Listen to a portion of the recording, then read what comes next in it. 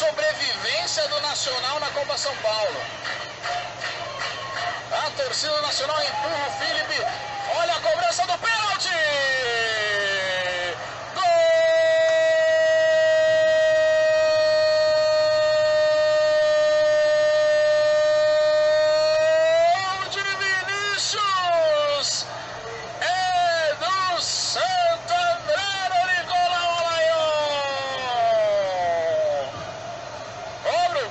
Pênalti com uma maestria danada.